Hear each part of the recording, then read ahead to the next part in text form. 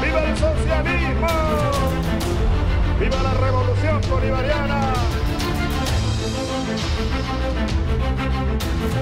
¡Viva la lucha del pueblo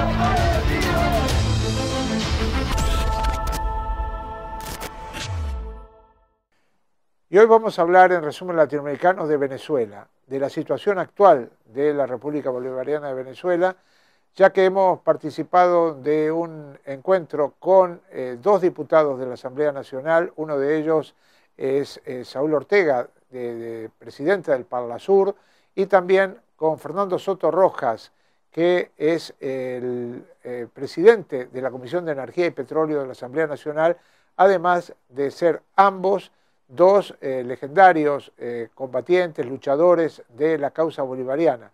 En el caso de Fernando Soto Rojas es eh, uno de los hombres que en los años 60 estuvo participando de la guerrilla de las Fuerzas Armadas de Liberación Nacional en Venezuela y también en el caso de Saúl Ortega que fue un luchador por la vía armada y también por la vía política. Pero junto a ellos estaba también el embajador de la República Bolivariana de Venezuela, el general eh, Carlos Martínez Mendoza.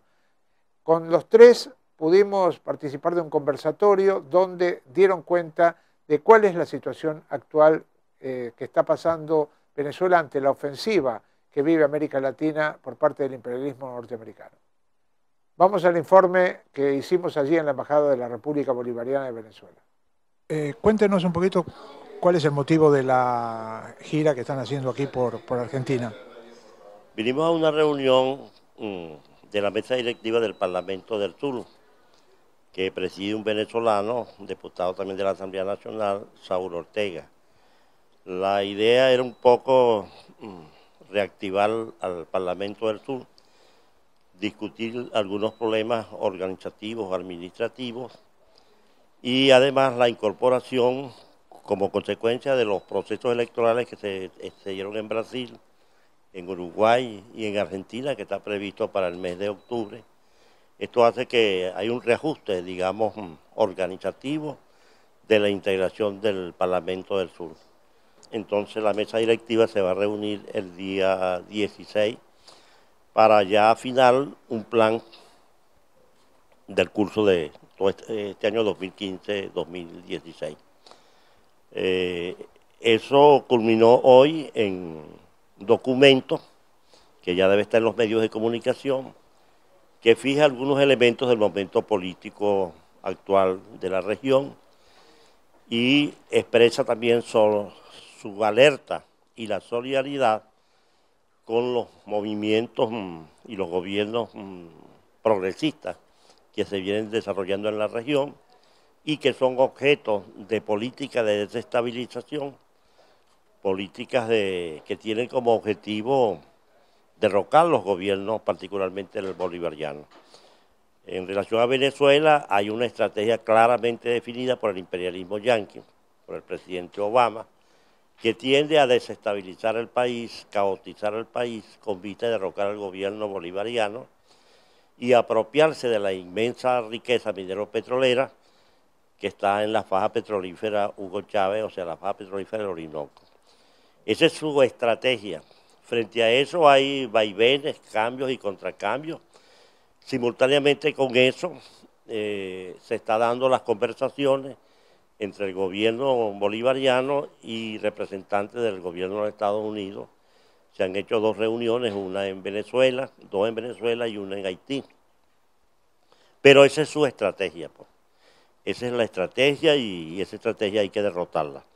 Fíjense que en el mes de, principio de este año, el 9 de marzo, el presidente Obama planteó el decreto, el célebre decreto que fue, eh, ese decreto es un, es un decreto que injerencista en los, asuntos internos de Venezuela. Primero, Venezuela no es ninguna eh, potencia militar como para derrotar al gobierno de los Estados Unidos, ni esa nunca históricamente ha sido nuestra política.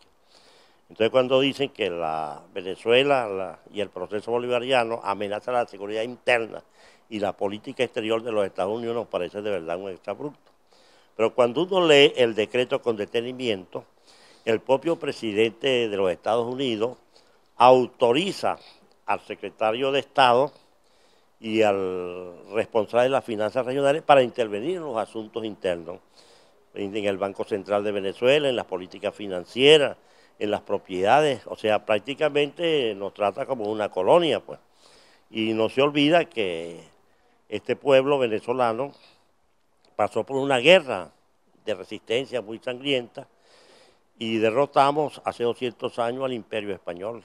Mira que estamos acostumbrados a derrocar imperios.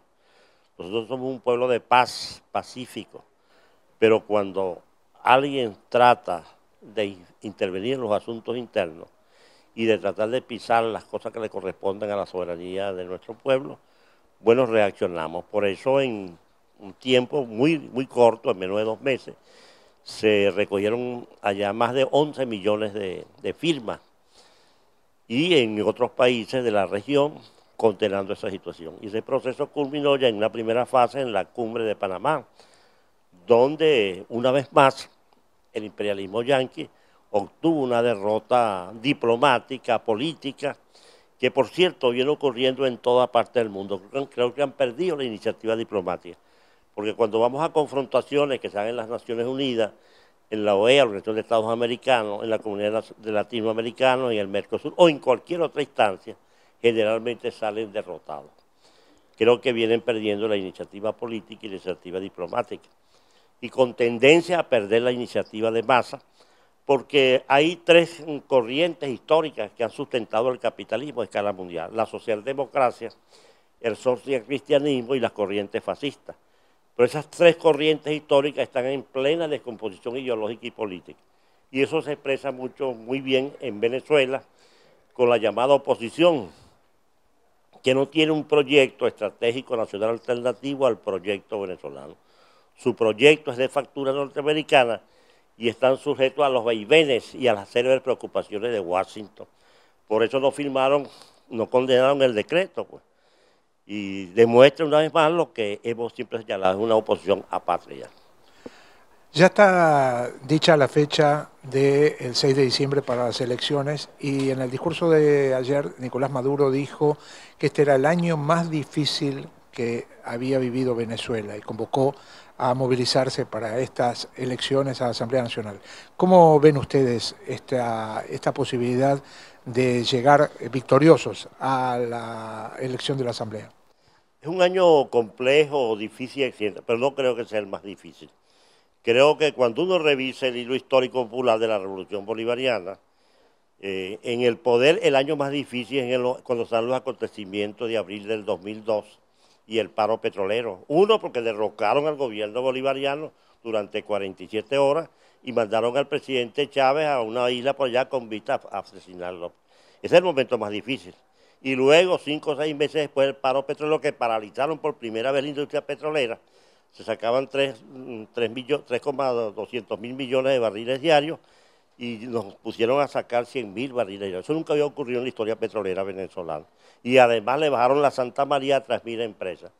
Esa es la situación más difícil que hemos vivido. De aquí a allá se han dado un conjunto de acontecimientos y creo que la conciencia antiimperialista, democrática y popular de nuestro pueblo ha avanzado sustancialmente. Eh, y luego los mecanismos de defensa. Eh, mm, se, limpió el ejército y avanzamos hacia la construcción del ejército bolivariano, donde es un ejército popular eh, de verdad antiimperialista, en donde la oficialidad tiene otros criterios de formación y está comprometido plenamente con la revolución bolivariana. Eh, segundo, en aquella época no teníamos el Partido Socialista Unido de Venezuela, había un conjunto de fuerzas izquierdas que apoyaban al comandante Chávez, pero hoy en día tenemos un partido claramente con un perfil antiimperialista y con un horizonte socialista. Y estamos avanzando en ese proceso. E igualmente eh, tenemos ya el Frente Patriótico, que es un frente antiimperialista conformado por los partidos de izquierda, bajo un conjunto de movimientos sociales. Y además tenemos un anillo político-ideológico que nos dejó la revolución bolivariana y todo este liderazgo, como el de Kirchner, como el de Lula, que es la Comunidad de Naciones Americanas Latina y el Caribe. Eso no lo teníamos hace 10 años. Tenemos el, Parlamento del Sur, no lo teníamos hace 10 años. O sea, se ha avanzado mucho y además se ha avanzado también en los acuerdos estratégicos con la Federación Rusa y con la República Popular China. Y este año en Venezuela se va a realizar, probablemente en el mes de septiembre, el grupo de los 77 más China, que es un acontecimiento muy importante. Eh, claro, mm, el enemigo no hay que subestimarlo, pues, porque si fuera una lucha puramente nacional, en este mismo combate despacharíamos a esa, pobre oposición venezolana. Pero detrás está un enemigo poderoso que es el imperialismo yanqui. Pero también el, imperialismo yanqui tiene serias limitaciones y dificultades que tenemos que estudiarlo. Ellos tienen tres elementos de poder. Uno, a través del dólar, controlan la economía mundial capitalista. Dos, el poderío mediático. Y tres, el poderío militar. El mediático le hemos venido dando rumbo con Telesur, con los satélites, con los mm, mecanismos de comunicación popular y con el sistema bolivariano de información y comunicación. Y desde el punto de vista militar, aquí había una, una democratización entre comillas antes el imperialismo tenía el monopolio absoluto de las armas termonucleares. Ya hay más de 10 o 12 países que tienen ese control. De manera que ya ellos no pueden realizar guerras de tipo clásica como fue la Primera y Segunda Guerra Mundial. Eh, estamos en esa situación. Y en relación al dólar, histórica y políticamente tiende a desplomarse. Esa moneda, si uno revisa desde 1944, cuando se dio el acuerdo de Bretton Woods, ya cerrando la Segunda Guerra Mundial, eso fue un acuerdo impuesto a los estados de la época.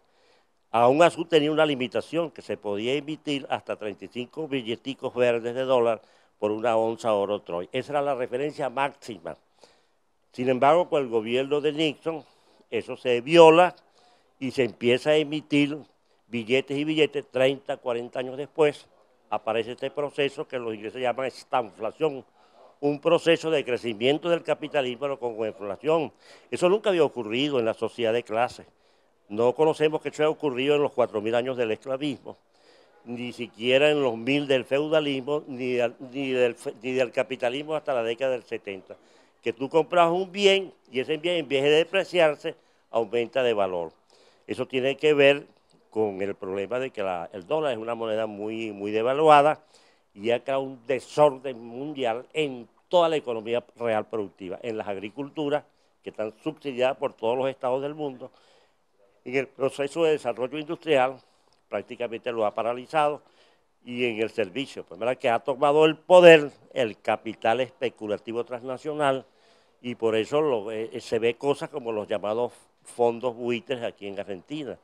Pero eso llevaría un tiempo más, una explicación, de repente en la exposición que vamos a hacer eso, matamos esa cosa. Y hoy nos están representando a nivel, vamos a decir, del, Parlamento eh, regional, nos están representando, están representando Venezuela y, eso también nos llena profundamente de orgullo, pero también es una manera de decirle el compromiso que Venezuela ha asumido, que hemos venido asumiendo durante estos 14, 15 años, 15, 16 años con la patria grande, con todo lo que es este, el, compromiso que tenemos para con toda una región como es la patria grande. Yo no tengo la menor duda de que vamos a salir airosos, de que más allá de las diferencias, contradicciones, gustos o pareceres, no nos queda otra alternativa que estar juntos y de pelearla entendiendo lo que eso representa para la región. Nuestras elecciones, la elección de Venezuela y de Argentina, no se circunscriben a un impacto en lo interno de nuestro país. Tenemos que tener claro que son determinantes y fundamentales para la región. Pudiésemos hablar nosotros de 1989, que fue un año de grandes acontecimientos en el mundo entero particularmente para la esperanza. Estamos hablando de febrero del año 89.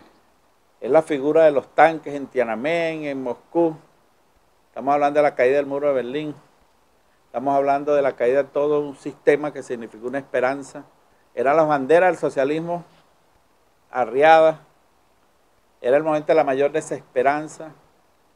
la desaparición del esquema bipolar que había aparecido en la Segunda Guerra Mundial y sin darnos cuenta el sueño americano de un mundo unipolar, de un poder único, había aparecido por arte de gracia. La hegemonía se había concretado sin disparar un tiro, qué cosa, ¿no? Lo que le había costado 70 años de, de guerra caliente, mediana, fría, como sea, sin echar un tiro, el sueño americano se había hecho realidad. Y no nos dimos cuenta que a partir de ese momento era el mundo era más inseguro, porque estábamos en manos precisamente del poder omnipotente de quien quiere aplastar a los pueblos, invadir, explotar nuestros recursos, en fin. Era quizás el momento más catastrófico y no ni, siquiera nos estamos dando cuenta de lo que estaba pasando. Y yo quiero decirle por qué agarro el año 89, porque uno tiene que explicarse las cosas. Así como estaba cayendo la esperanza y las banderas del socialismo, estaba comenzando una revolución en esta parte de nuestra América, en Venezuela.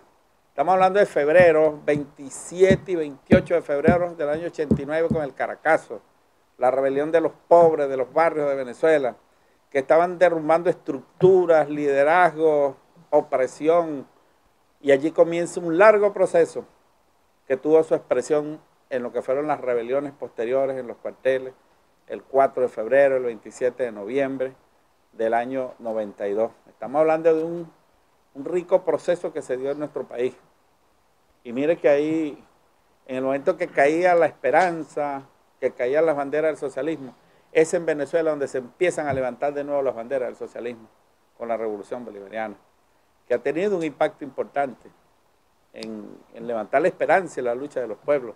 Por eso digo que no es poca cosa el impacto del liderazgo del comandante Chávez, que todavía en el tiempo tendrá que pasar muchos años para que lo, logremos valorar en su peso específico y en, la proyección de ese liderazgo que uno lo siente cuando sale por ahí pero no terminamos de hacer conciencia todavía de lo que eso significó y que es sumamente delicada la, batalla en estos tiempos. Creo que es importante que nosotros veamos estas razones porque el caso de nuestro país, pues están, todas están siendo operacionalizadas en función de una intervención. Y a veces uno se pregunta, bueno, ¿y cuál es la razón? Bueno, porque estamos en la lista de los países que ellos consideran del eje del mar. Pónganse a ver cuáles son todos los países que han sido intervenidos. Todos tienen un tufo petrolero. Todos. Si ustedes revisan el caso de Afganistán, ustedes saben que no tiene petróleo, pero por ahí pasan los oleoductos y gasoductos precisamente hacia Europa. Pero está el caso de Irak, está el caso de Libia. Incluso ustedes buscan ahorita las estadísticas de los parece que produce cero petróleo. Pero se está comercializando el petróleo libio, que es uno de los mejores petróleos que hay en el mundo. ¿Y quién lo opera? ¿Quién vende petróleo? ¿Alguno de ustedes puede vender petróleo? Las empresas petroleras norteamericanas están legalizando petróleo de sangre robado en Irak, en Siria y en Libia. Pero si ustedes se van a África, no solamente es Libia, también es Nigeria, que es un país de OPEC, tiene una crisis ahorita de grupos terroristas, del Boko Haram, y esos son la forma como operan las empresas contratistas norteamericanas.